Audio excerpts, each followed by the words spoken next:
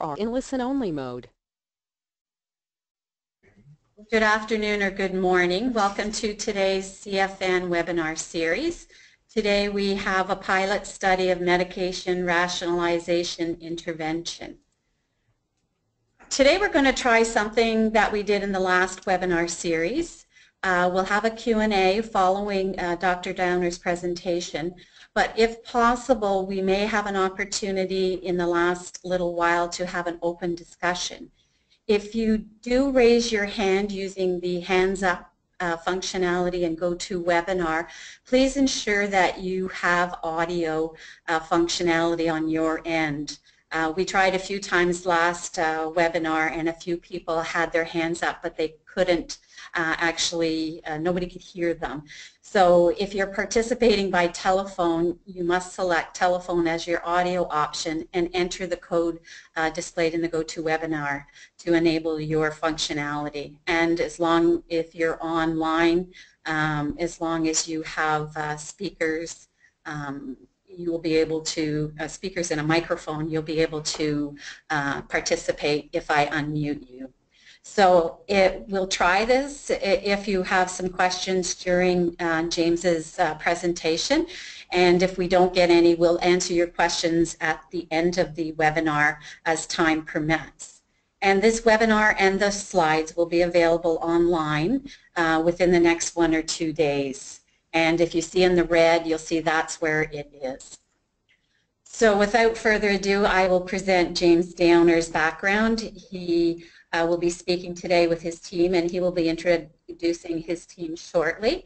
Uh, but James is a critical care and palliative care physician at U University Health Network and Sinai Health Systems in Toronto. He is an associate professor in the Department of Medicine at U of T. He's the program director for the subspecialty residency program in palliative care at the University of Toronto, chair of the postgraduate education committee of the Canadian Society of Palliative Care Physicians, and the chair of the Ethical Affairs Committee of the Canadian Critical Care Society. He's also an Associated Medical Services Phoenix Fellow for 2016-17. And so I will turn this over to you, James, to start your presentation. Thank you, Carol. Can everybody hear me? And can everyone see my presentation? I can hear you. Great. And can you see my presentation now? Yes. Is there a way to expand it a little bit more? Uh, okay. It's good. That, is that better now? Yeah. Okay. Let me just see. Okay, wonderful. So, um, and is there an annoying box in the middle of it showing a link to the GoToWebinar? Can you see that? Yes. From my end, that. I'm. I've ordered a new laptop because my operating system is woefully out of date, and I'm sorry. I you're just going to have to bear with me through the presentation. I can't make that go away. Sorry. Okay, that's fine, James. And if something goes wrong on your end, I have your slides up to to to roll them forward. Thank you. Sorry, uh, it's it's. I'm expecting the laptop in the mail any day now. So um, anyway, I want to thank everybody for joining us on the webinar today and uh, for taking time out to, to hear a presentation of, uh, of the results of this study that was very, very kindly funded by the Canadian Frailty Network. It's a pilot study of a MIRA, the Medication Rationalization Intervention. Uh, I've, I put Rachel Whitty's name first because she prepared most of these slides and, uh, and then promptly went on her honeymoon. Um, and so she's not going to be able to join us for the presentation today. However, we do have with us the remainder of the, the core MIRA team. Uh, so we have Sandra Porter, who's one of the pharmacists uh, who was involved. We also have Karen Batu, who was one of the pharmacists who was involved. And we have Ellen Koo, who was a research assistant who tirelessly roamed the halls, enrolling patients and uh, dragging them into our study, uh, ethically, of course. And, uh, and so I just think it's really important to give acknowledgement to the, the, the hard work done by uh, everybody involved in this project. It was a team effort. So the objectives for the session really is to understand the function of a pharmacist-led team to rationalize medication use among seriously ill and frail elderly inpatients and also to appreciate some of the limitations and barriers to implementing a pharmacy-focused medication rationalization program on a hospital ward. Um, background, I think a lot of what I'm going to tell you is not going to be news to, to people attending this webinar, but most Canadians do die in an acute hospital setting and generally speaking they are not receiving comfort-focused care. Um, in particular, when you focus on medications, you find that medication use among the dying on an acute uh, care ward, um, medications are often mismatched to the care and the care preferences of the patient. So very often patients are receiving medications that could not conceivably be for comfort, even if the plan of care is for comfort. And when they are actually having symptoms, they're not receiving comfort medications to treat those symptoms. So again, a mismatch we did a, a, a, chart review some years ago at our institution and identified some very concerning patterns of medication use among those nearing the end of life. So this was 70 consecutive patients who were followed by the palliative care service and uh, either uh, these were patients who either died uh, or were transferred directly to a palliative care unit. So not, not a standard set of, of patients followed by the palliative service, but really patients who were nearing the end of their life and had a very comfort focus to their care. Um, and we looked at the kinds of medications they were receiving just in the final week of their life or stay on the medical ward. We found that on the whole, and on average, these patients received 80 doses of medications in the final week of their life. And of those, slightly more than half could not have conceivably been for comfort. Um, these were medications that were given for either chronic primary prevention or other medications that really just could not have a comfort focus associated with them. And although many of these non-comfort medications were stopped in the final week of life, we found that a large number were actually started in the final week of life. So people continuing to treat um, with acute medications that were not focused on comfort, even if the, the plan of care was for comfort. And many of the stops that were taking place were actually just stopped on the final day of life uh, or discharged, often when the patient was no longer able to tolerate oral intake. Moving to a broader topic of polypharmacy, we, I think, are, are aware among the frail elderly that polypharmacy is a big problem. And it has important consequences. So about two-thirds of Canadian seniors are taking five or more medications. And the more medications you take, the higher the risk um, of a medication error, of medication interactions, of adverse drug reactions, and noncompliance. I often love to tell the story about the one time I had to take a five-day course of levofloxacin. Um, I completely forgot about two doses of the five, and of the three remaining doses that I actually took, I took two of them more than six hours uh, off of the time I was supposed to have taken them. So um, that's what I do with one medication. So I can't imagine people that have to take five or more, uh, how hard that must be to get that right. And when you look among the frail elderly who are receiving multiple medications, about 40% of them uh, on one study actually found that they were receiving inappropriate medications, medications that should not be given to an elderly person. So really, polypharmacy, a big problem. So deprescription uh, is often touted as a as a, a, kind of a recent trend, a fad, if you will, and things that people are are putting increasing focus on. There's a Canadian Deprescription Network. Uh, but there are many, many barriers to deprescribing, right? So many people have a poor understanding of the harms of medication use. Uh, people often overestimate the harms of stopping medications, certainly primary prevention medications, um, but uh, the, the, harms of actually taking those medications tend to be underappreciated. There's tremendous concern about precipitating an acute event and balancing the risks and benefits uh, of, of using those medications. Um, and uh, sorry, one other thing is, of course, people often uh, are a bit afraid to stop medications, not so much because they're deeply attached to the medications, but they have a long-standing relationship with the doctor who started them. And that the choice of whether to stop or continue that medication is less about the medication and more, more they feel it's more about a reflection of, of their relationship or how much they value the doctor who prescribed it. So it's very personal to, to many people. So there are a number of hospital-based pharmacy-focused interventions that are already in place that many, many uh, uh, of the audience would be familiar with that improve patient safety and appear to reduce costs. Examples would include antimicrobial stewardship programs, which uh, are, are, rampant across the country and, and are, are, excellent and, and, appear to be very effective. And also medication reconciliation, which is now a best practice and a standard practice uh, required by Accreditation Canada um, in, in hospitals across the country. So our notion here was that we try to put together a few ideas um, uh, and, and form this new team of, of pharmacy-focused intervention for medication rationalization, or MIRA. So this would be focused on patients with advanced illness or a palliative philosophy. And what we would be trying to do is to deprescribe non-beneficial medications or frankly harmful medications, at the same time adding comfort medications should the patients have symptoms. And we would try to be involving, uh, try to be invoking evidence-based recommendations wherever possible, and always doing this with uh, the consent of the patient. So involving the patients in the process, understanding values, and making recommendations, and only making changes with their consent. The participants in the study uh, were uh, all patients on a GIM service at Toronto General Hospital. They had to have advanced illness and be at risk of a six-month mortality or elevated risk of six-month mortality using the CareNet criteria which had been previously published. The intervention would be either to stop, change, or add medications that had a comfort focus. And then the outcomes, because this was a pilot study, were mostly pilot outcomes. Was, was this a feasible intervention? Was it acceptable to patients, family members, and, and also, importantly, the healthcare team? We were also interested to learn if it was going to be effective, would they actually stop medications, and was it time efficient, right? Would it be worth the time spent uh, going over these medications? So a bit of a process flow here. Uh, the study would be introduced to the patient, and then we would administer a survey that would include an ESAS, so we get an idea of their symptoms. And then a couple of validated uh, tests, so there's the Beliefs About Medicines questionnaire, and then the patient attitudes towards deprescribing surveys. So these are surveys in, intended to look at patients' attitudes towards their medications and their, their overall willingness to stop them. Um, I'm not going to be presenting that data as part of this presentation, but it, it did, did make for interesting reading. The MIRA review then uh, would involve our team looking at the diagnosis, the prognosis, the goals of care, and the symptoms. And then using evidence-based criteria such as the STOPP criteria, the START criteria, the Beers criteria, Choosing Wisely Canada, Choosing Wisely USA, and some of our own algorithms, make recommendations about stopping, changing, or adding medications to, to the patient's uh, list.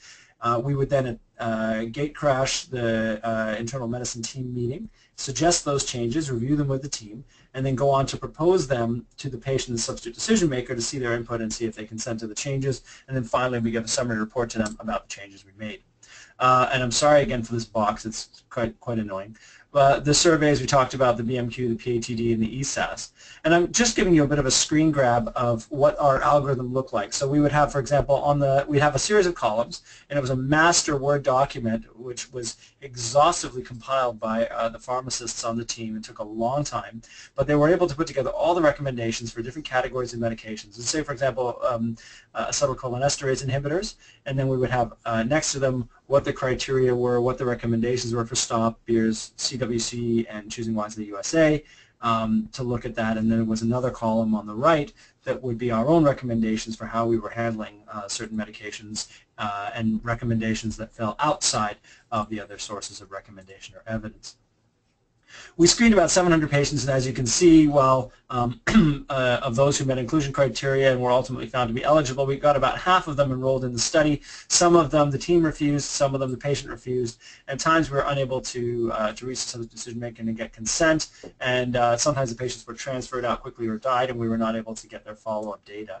But of the patients that we did study, uh, this was just showing you the major demographics that you would be interested in.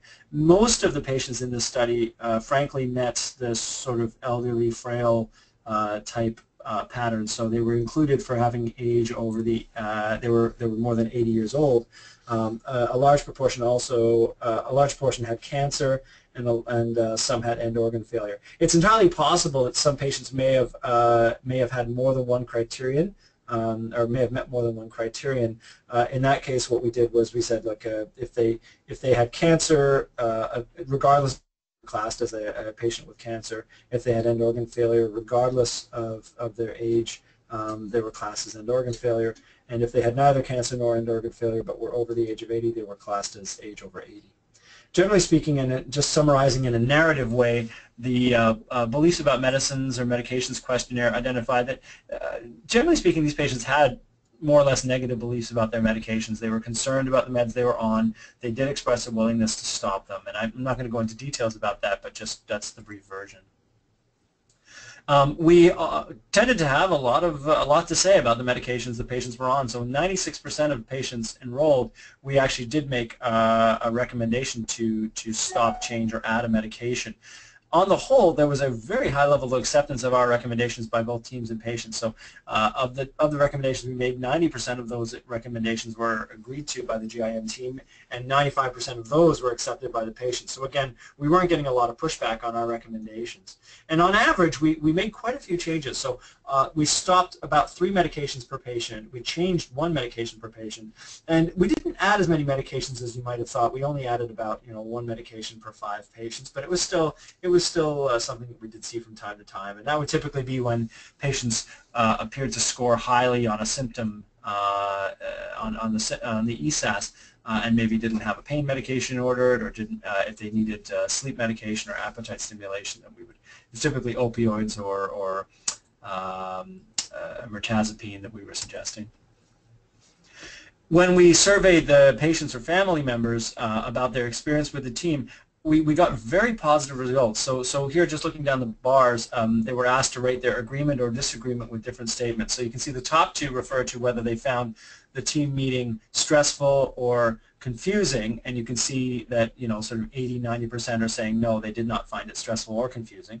Then we asked them if they were comfortable starting new medications and stopping older medications, and you see again a very sort of 80, 90% comfort level with starting or stopping new medications uh, on the basis of those recommendations, and and uh, you know more than 90% agree that they were they were glad that the team came to review their medications. So a high level of satisfaction and acceptability to the patients.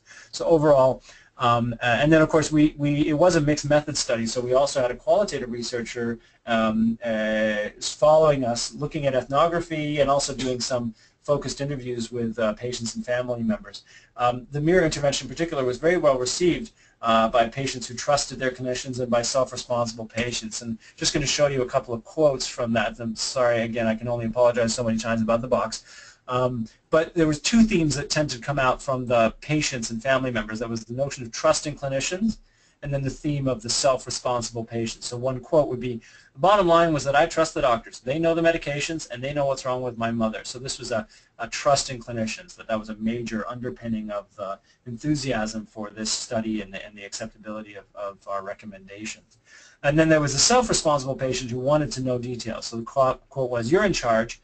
I always thought of your body. And even if he recommends me a drug, I want to know all about it. So, so these were patients that were uh, also very keen to participate in it, not so much out of maybe blind trust, but but actually they kind of wanted to know more about what they were on and really go at each of those medications, and they appreciated the opportunity to really uh, talk about the pros and cons. So that was uh, that was another type of patient.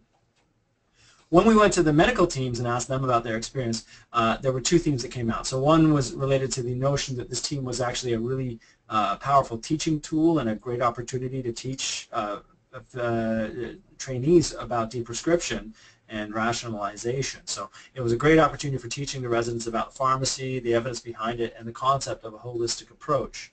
Um, at the same time, of course, anytime you ask people to do new things, there's always going to be some degree of pushback uh, related to time. So they said, it's just the time. We barely have time to do the teaching that we need to do, and to be doing that on top of it is added stress. So, you know, um, there, were, there were some comments along those lines as well.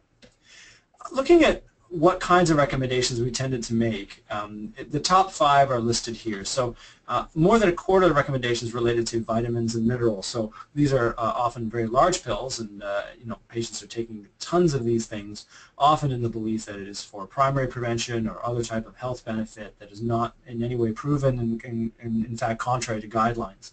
Uh, a large number were taking lipid-lowering agents, and they were perhaps in the final few months or weeks of their life from an advanced cancer, and now, of course, we have evidence that there is no harm to stopping those medications, um, even if uh, it was felt to be consistent with goals of care.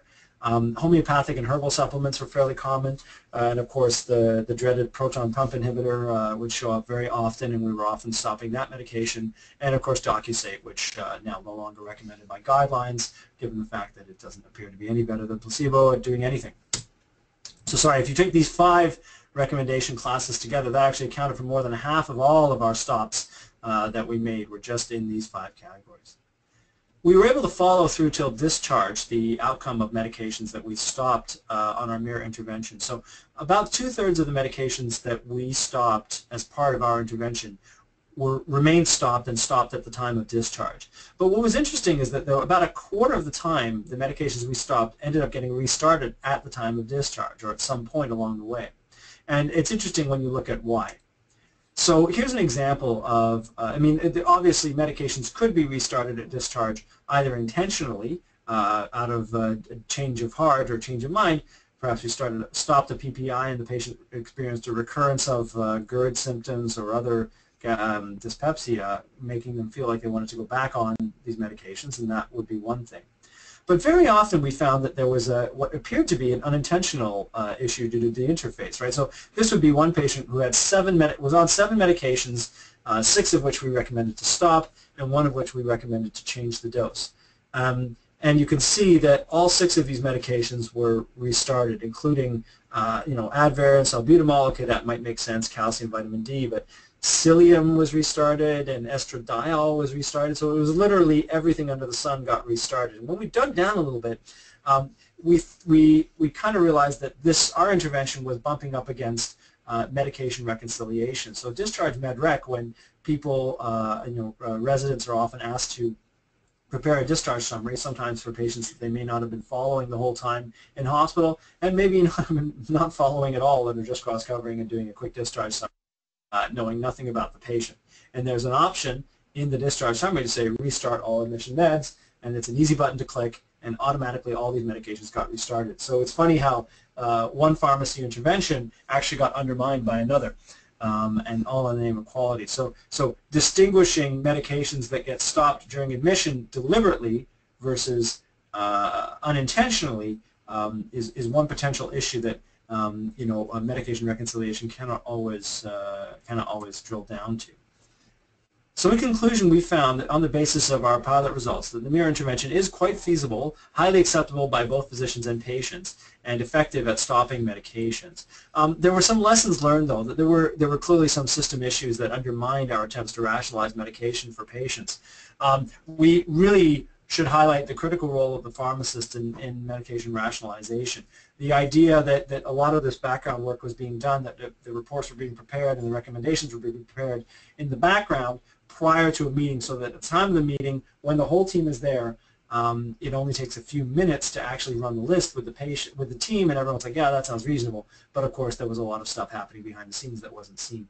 And it's important to notice that this is distinct from medication reconciliation, so the processes that are going on by the time we're seeing these patients, they have already undergone medication reconciliation, right? So, so this is not a simply a situation of us stopping some medications the patient was never on. We, we, um, these were only patients who would have had Medrec done. So in terms of next steps, and, and this is where we're sort of moving forward here, um, we, the, given our findings, given the acceptability of the intervention, we wanted to look at ways to try to make the process more efficient, particularly the background work, which uh, was a fair amount of work uh, for the team. And so we were thinking, on the one hand, you could do actually a very simple automated screening system of the five most commonly stopped medication classes, and I showed them to you on an earlier slide. So just if you wanted to really get the big bang for the buck and just, just focused on those five things, that's more than half the work right there, and it could be done fairly quickly. It would save a lot of time and increase efficiency. Ideally, though, this is something that could very well lend itself to a computerized application. And uh, programming in these algorithms or ability to flag medications and prepare automatic reports for teams or team-based pharmacists that could go over and do this without the background work being done because a lot of this stuff was algorithmic and rote. Um, and, and so we've actually, that was always the plan. And I'm happy to report that uh, the Canadian Frailty Network um, is funding a pilot of MedStopper, which is uh, something led by Todd Lee, primary investigator uh, from McGill. And um, CFN is, is funding a three-site pilot, including Toronto, McGill, and Ottawa, looking at um, a uh, medication computerized system, uh, computer computerized system known as MedStopper. It's an application that can be run off of the web, but hopefully could also take pharmacy computer outputs and actually prepare automatic reports for uh, given patients that could then, those recommendations could be given to attending physicians and done in a more automated fashion. And we're going to be starting a pilot uh, in the next couple of uh, weeks or months here in Toronto and, and McGill and Ottawa. And of course, the, the really good news happened over the summer that this same intervention then for the sort of nationwide multi-center study uh, has been funded by CIHR. So there'll be a large, large, large uh, study looking at this that, and, and one of the core elements, in fact, one of the core algorithms of the MedStopper program is actually uh, the table that, that we showed you earlier, the, the, um, the big algorithm that included, the table that included the algorithms for beers, stop, start, and choosing wisely, as well as the MIRA algorithms. And uh, so really excited to see uh, that the, the stuff that was developed as part of this project uh, sort of getting some getting to go prime time and go national. And and the uh, ultimate idea being a standalone application something that could work as part of hospital pharmacies could work as part of outpatient pharmacies could work as part of family health teams that there's really um, a, very broad applicability of, of uh, this type of intervention uh, and because it's automated with the potential to really impact care for a huge proportion of Canadians, particularly the, the elderly population of Canada who are so touched by this issue. Wrapping up, uh, got to once again uh, give tremendous credit to the entire MIRA team that was involved in this study. Uh, this was a lot of work. This was, um, you know, putting this together, particularly the background work, preparing the materials and the algorithms was really yeoman's work. And I have to really say once again a big thanks to Sandra, to Karen Batu, Pranjal Bhatt, who couldn't be with us, the, uh, the, the, poor hapless uh, master's student who, uh, who uh, landed uh, in this project and really took it, the teeth between, took the bit between his teeth and, and ran with it and has been tremendously industrious in trying to compile the data around this. We're hoping to get actually some further follow-up data about what happens post-discharge, and we've got that now uh, we got permission to use Ontario's um, uh, drug profile viewer to look at uh, outpatient prescriptions going three months post-discharge to see the durability of our recommendations. Uh, the research coordinator, Ellen Koo, who's also here, our cultural anthropologist, uh, Shilla, who was uh, who um, you know was running around and chasing people down and doing these interviews and did a great job.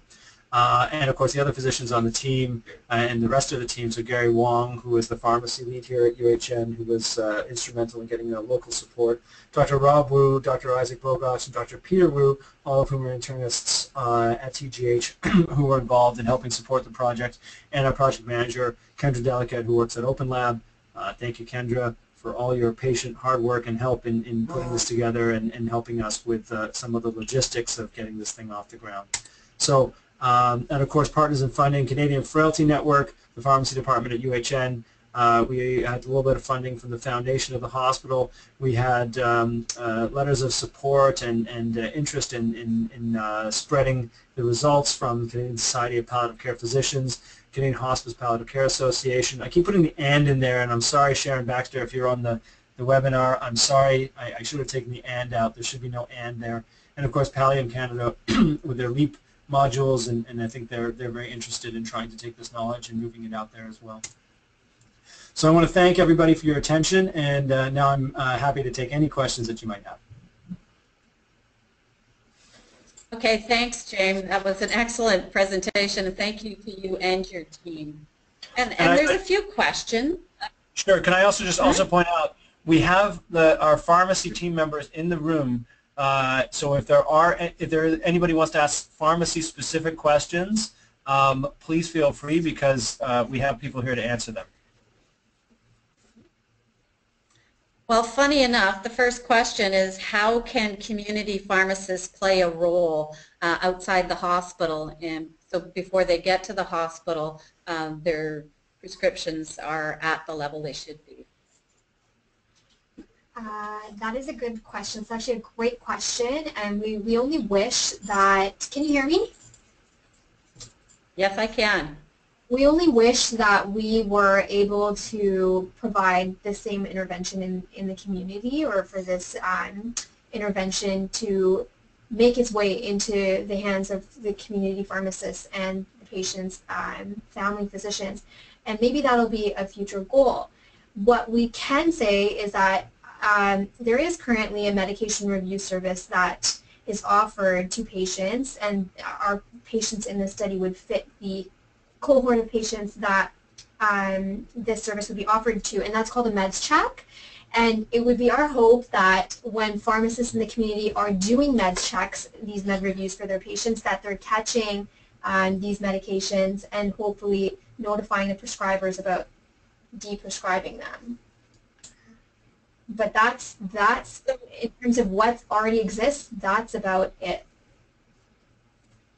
And, and I have heard of that. So my question is, um, do you look at prescriptions after the fact and let doctors know that there's something wrong, or um, are you just having the discussion with the uh, person who's getting the medications prescribed? Because often in frail elderly, not be the frail elderly picking up the prescription, but it would be their caregiver.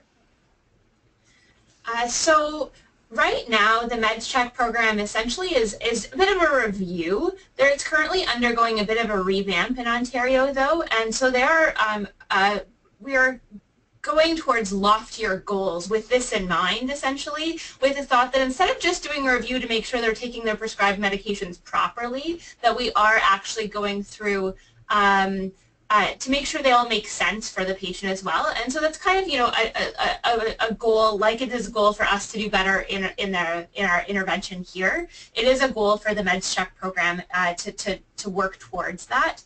Um, as it is right now, for the most part, they do try to do a meds check with the patient themselves. So sometimes for the, the frail elderly, that does mean, you know, scheduling a time that they're able to come in as opposed to just, um, you know, catching them when they're picking up the prescriptions. Um, but I think that's a great opportunity, uh, like Kieran was saying, to uh, take advantage of them being there. And the hope then is that they would communicate back to the prescriber if they had any concerns or suggestions about deprescription. I think that's a, a, a great opportunity for community pharmacists to do that. And it, and it is after the fact. So it's after a medication has been prescribed, unfortunately. That's when we intervene. And one, one thing I can just add, I think looking at how the process worked for this intervention, we had the luxury that all of the people, in, like most of the people involved in making the decisions were in the same room face to face when they were being discussed. So you had pharmacists, docs, and, and, and team all there so that if anybody had a thought about it, you could resolve that immediately. There was, it was synchronous communication. Uh, what did come up a couple of times is we were going to suggest that they stop, for example, a statin, and the patient would say, oh, well, I'm okay to stop it, but could you please clear it with my cardiologist? So then we'd have to send an email to the cardiologist, wherever that person is, or try to call them and discuss with them, and then there would be that sort of gap. I, I, I think that to some degree the challenge in the community is that if you're doing this, as you highlight, there's kind of three people in this interaction. There's the doc, the patient, and the, uh, the pharmacist, and you don't have all three in the same place at the same time. That's a challenge. Um, because when you're trying to do asynchronous communication, leaving messages on voicemails, etc., for a converse, what what ultimately is a is a values-based, you know, sort of risk-benefit conversation, asynchronous communication is not a very efficient way to do that. So it's I think it, it highlights the point and, and the value of an intervention like this, where people do get that face time, and I think uh, it's it's a consideration to have when you're in the community. Yeah. Um, further to that question, um, I know you're saying that pretty near everybody has to be in the room for it to work very quickly. But um, as one of your pharmacists was saying, um, they're doing the first level at the community in Ontario. Do you know if that's happening in the other provinces? Uh, I personally don't. I wonder if anybody uh, okay. on the webinar does could let us know because it's a good question hopefully somebody will will answer that question. I guess the other place that that where there is a lot of frail elderly is long-term cares and nursing homes. And has there been anything done in that area across Canada with with similar to to your study? So the same, the very same intervention, the meds check, there is actually uh, a meds check that's specific for long-term care patients as well, and it would be the pharmacist who is involved in dispensing medications for those patients who would be expected to review their medications. So again, it's a similar, very similar process to what exists in the community. There's also, I believe, another, I think it was another TVN or CFN funded project looking at this in long-term care. I think it was a survey Um, and if I'm not mistaken, the PI was in Hamilton. Her name is escaping me at the moment. Um, Carol, do you remember the details of that? Am I inventing this? No. Well, there's a there's one who's looking at in long-term care home. I think it's Morrison um, or Morris, and it, it's one of our SIGs. And I think they're looking at specific drugs that keep uh, that are continually prescribed. There's a certain group that they're looking at to to see if they're necessary. Right, and I think I think And- and their so- I think their view is ultimately to try to intervene. Um, but yeah, it's it's interesting, right? As you say, it's a it's an area where you, have to think this has tremendous potential for expansion and use, right? It's it's where the patients are, it's where the frail elderly are, and it's where the polypharmacy is happening. Yes, I, I, I think you're right in that case. And somebody's asking the question is, uh, are you working with anyone in Atlantic uh, Canada on these types of initiatives? Um, and uh, do you think a nurse practitioner could take on the role of the pharmacist in a replication of this pilot? Um, we're not working currently with anybody in Atlantic Canada, but I remember speaking to uh, somebody who tried to, I think, get a project like this going and was encountering a lot of obstacles, really was unsuccessful, I think, in getting it off the ground due to sort of pushback from uh, clinical teams and, and an unwillingness on the part of patients and families. So it's very different than our experience. Um, personally, I, I can't see I mean, I, I, think you know the the training level and the and the professional um, classification of the individual doing the intervention, I think is is important, but maybe less important than the skill set and experience of the individual. Um, I, I think you know I think a physician could potentially do this if they were very knowledgeable about pharmacy and and about pharmacy recommendations, but I don't think most physicians have that level of understanding. Um, I think that uh, you know, having a pharmacist, particularly one who's used to working with patients, is is a is probably the ideal person. I don't see why a nurse practitioner with an area of focused interest uh, couldn't do this job. What do you guys think? Yeah, I I agree with James that um, anybody probably could take this role on. Uh, we have some great resources we've developed, and some of, like, James said, some of it was just the the routine going through uh, things that could be automated.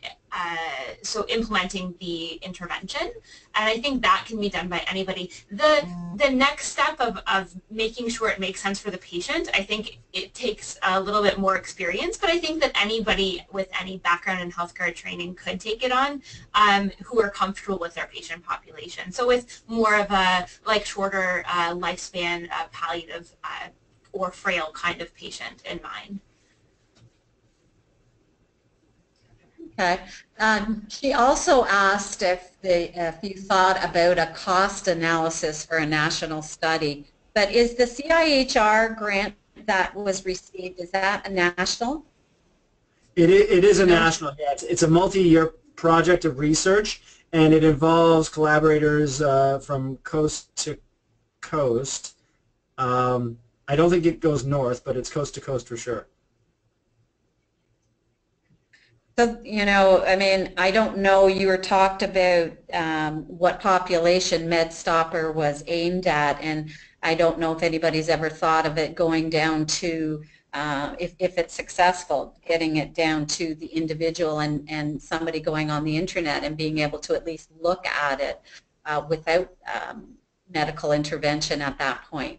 Well, I think Um, I, I, I I did thought- yeah, I think you you have to think about the patient population that you're dealing with, right? So I mean, and then that's where the ethnography was really interesting, right? Because you're identifying these different patient populations. There's some who are just kind of almost blind trust in physicians, or will evaluate whether or not they take a medication largely as a reflection of their relationship with the prescribing physician. So, you know, a long-standing relationship with a physician, they're basically going to do whatever this doc says, and they're going to keep doing it until this doctor says they, they should stop it, regardless of what anybody else says. Um, there's also a certain set of people who are, I think, a little bit more autonomous, informed. I, I don't want to, I don't want to sort of put value judgments on one one personality type compared to another. The, there are a certain group of patients who are very self-aware, uh, self-responsible, and are very interested in taking responsibility for everything that goes into their body. And so I think the idea of of putting this out there and, and flagging this and, and in more more or less empowering patients to ask questions about their own medications and get it out there. I can get I can give you a little anecdote um, because this uh, project was profiled um, in the newspaper last fall and actually got uh, was picked up by La Presse in, in Quebec. So John Muscadet and I um, are, are we appeared in a French newspaper, and so um, my wife, who's from, uh, from her family is in Montreal, um, they read the article and immediately took this to the family doctor taking care of their their grandfather, like like uh, the their sort of patriarch of the family, which triggered this very long interaction with the family doctor at the nursing home, um, being confronted with all these various. Does he really need this medication? Does he really need this medication? So I'm sure that family doctor wants me dead now. Um, but it, it, was just it, as an example, the saying how you market this stuff to individuals. I think it, it, it is an example of people being able to really question and say, you know, hey, do I need this? Because I think I think that does send a powerful message to physicians to know that actually, I think a lot of physicians would be surprised to learn how eager their patients are to stop medications, particularly as they become frail and elderly. Hmm, very interesting. And, and I guess uh, the, one of the questions is, um, what are the root causes for over, overprescribing in the first place? or do you, do you, do you even look at that? Because that's a pretty good question. We're on we're the closed bracket, not the open bracket. But your um, your question is a very important one. There, I think there, there have been a variety of studies looking at why people prescribe as much as they do. But I think you know, I, I I would hesitate to use the term overprescribing um, because at the time these medications get started, they often are very reasonable. And I don't think, I mean, a, a few medications aside, you very often will look at these medications and not say that, the, it's not that these medications are always dangerous. Um, otherwise, why would anyone prescribe them?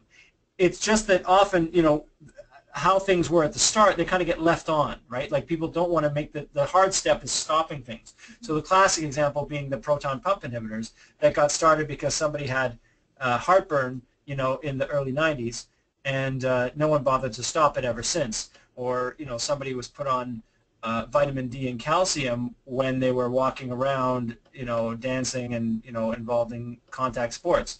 Um, and then they got advanced cancer and got admitted with a high calcium level and somebody still got them on vitamin D and calcium. You know, they, they, it's not that the medication was wrong, it's just that the patient's condition changed. And that's why it's important to do these sort of routine reviews of the medications. Karen, you want to add something? I would agree with James actually. So not very seldom do we see that our patients who are on 10 or 15 medications that all of them were started at the same time. Oftentimes they're started sequentially for different issues that crop up over time. But I think the the larger issue is not why or how were they prescribed to begin with, but um, whether or not they're ever reassessed. And I think that that's the piece that's missing. They're not reassessed as often as they should or could be. That's right. You know, like statins, uh, aspirin, a lot of these medications that are there for primary and secondary prevention, you know, or they may have been prescribed at a time when recommendations said one thing and then the recommendations changed. Uh, aspirin being the classic example of primary prevention aspirin that we, you know, was all the rage back in the day and now is, is very much not the rage. Yeah, interesting. It looks like there's lots of reasons for it. And I, and I think that sometimes if you know somebody starts a, a, a certain a drug and if they don't know what it's for, they can't say, well, you know, go back to their primary care doctor and say, should I still be taking this? And if you're given the information up front, you might know that you shouldn't take it if something happens.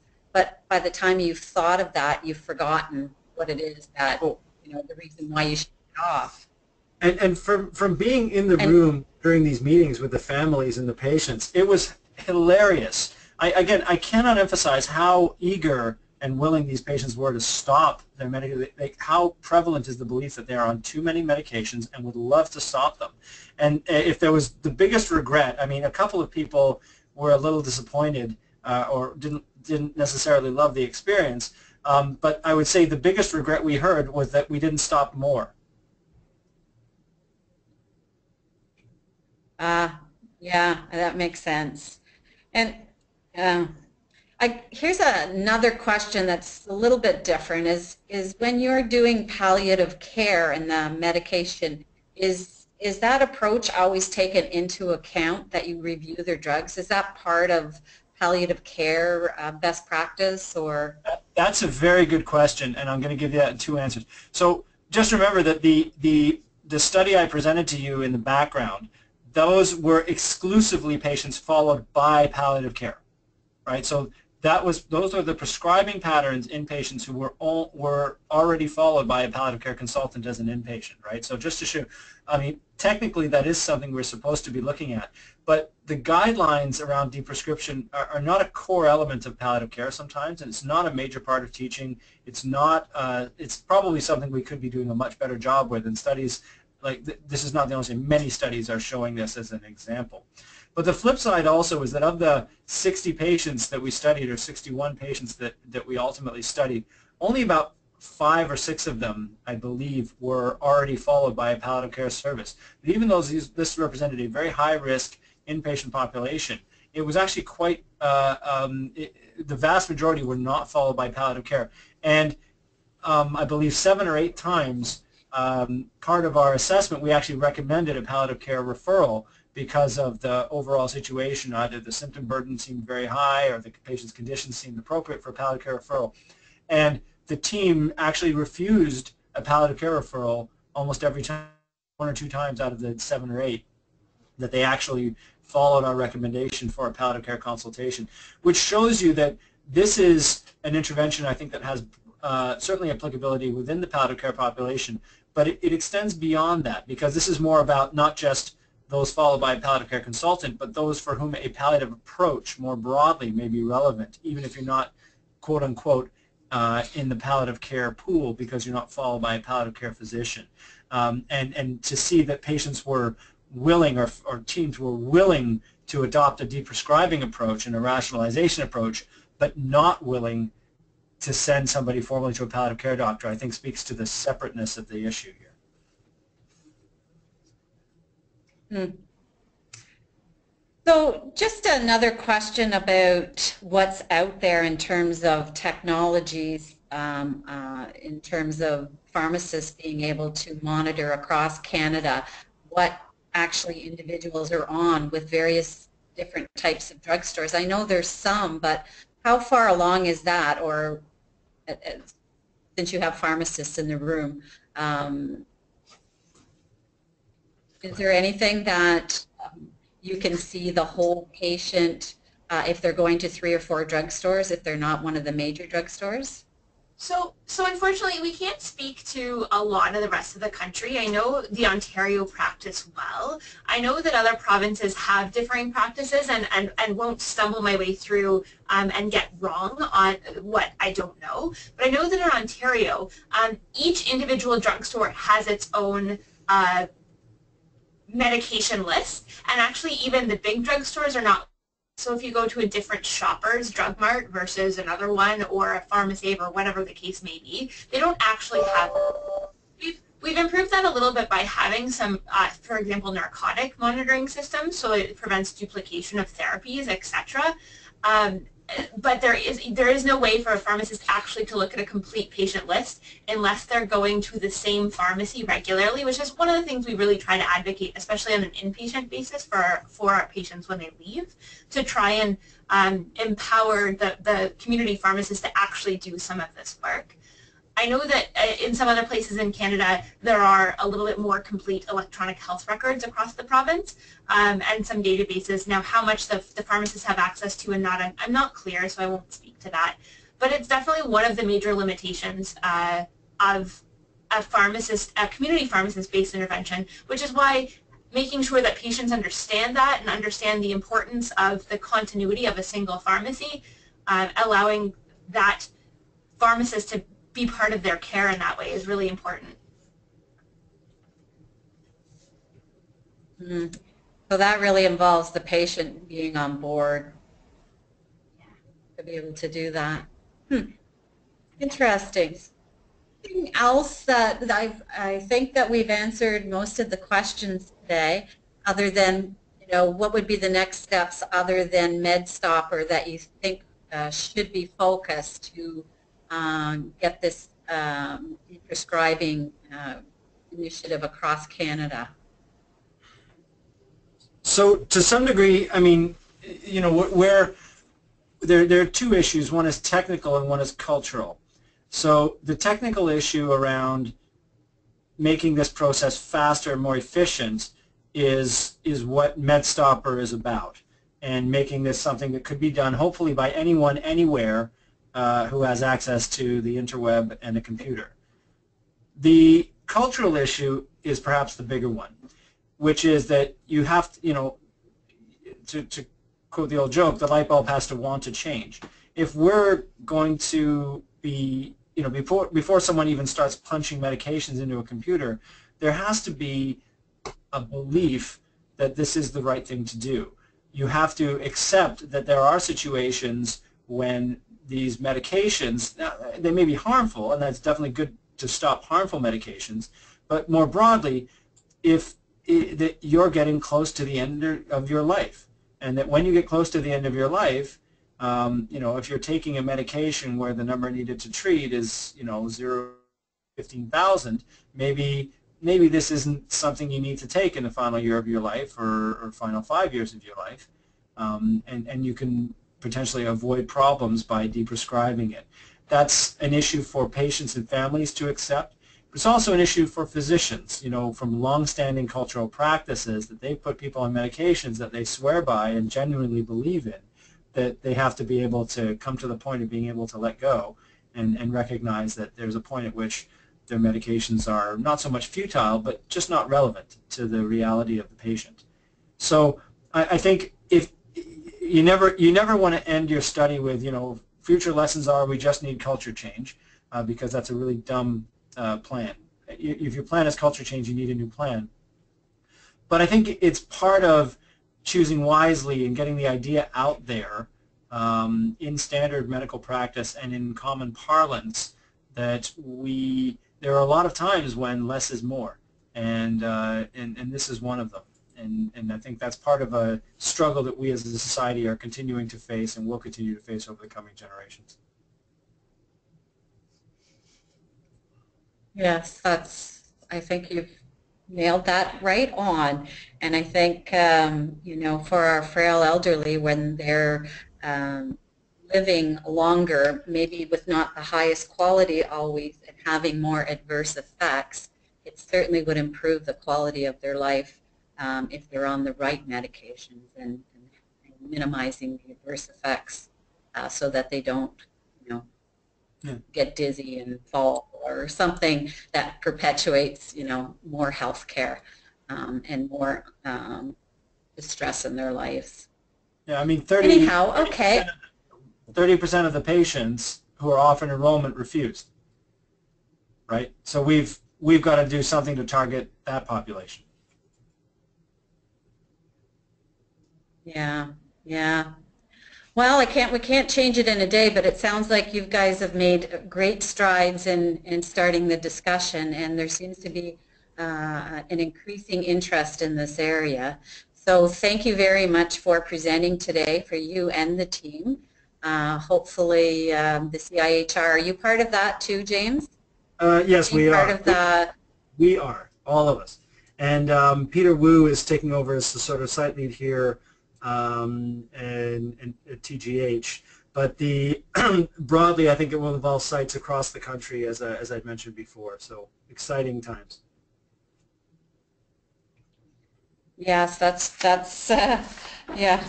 That's all we can hope for is that that we just keep improving. Um, so again, um, after this um, uh, uh, webinar, um, you'll have some questions that will come up uh, that you could hopefully answer so that we could improve the webinars. Um, there wasn't a lot of uh, people who were able to put their hands up today, so unfortunately there wasn't as much discussion, but I think your team did a great job of uh, um, providing some really good discussion on this area. Um, upcoming webinars, um, we do have one uh, from France Légaré from the University of Laval, and we're just trying to get a date because the date that we had for her originally uh, falls within um, the conference of Age Well and CAG. Um, so stay tuned for that, and we'll have that date up as soon as that's confirmed. And we have another one Wednesday, November 16th with Michelle Kho, which um, is clinical trial of bed cycling in elderly mechanically ventilated patients.